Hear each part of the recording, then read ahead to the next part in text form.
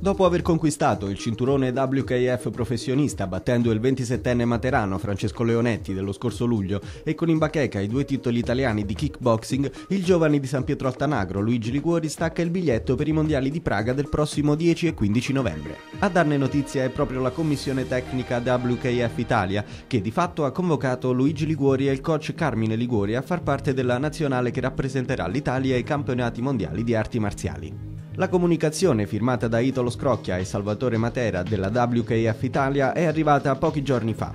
La convocazione, frutto di impegno e sacrificio, ma soprattutto di risultati conquistati da Liguori, testimonia il valore che ha assunto Luigi e il suo coach Carmine in questi ultimi mesi.